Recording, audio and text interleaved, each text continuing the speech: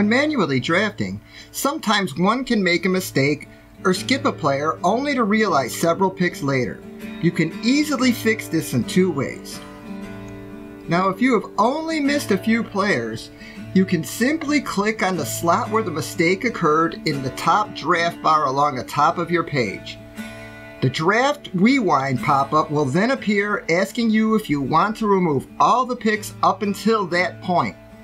Click the blue draft rewind tab and all the players will be removed up until that point. You can then manually re-add them from the player pool below in the correct order, or use the player search tab to the right.